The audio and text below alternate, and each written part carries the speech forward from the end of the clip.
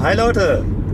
Heute ist Sonntagmorgen, äh, Sonne kommt raus, Wetter ist geil und äh, ich bin da mal kurz rumgedüst, habe mal ein paar Videos von außen gemacht mit dem V8-Sound, Ansauggeräusch vorne, innen und außen und schneide das alles in einem Video zusammen, so als kleines Soundvideo fürs Wochenende. Und ja, ich hoffe, ihr habt alle morgen frei, morgen ist Brückentag.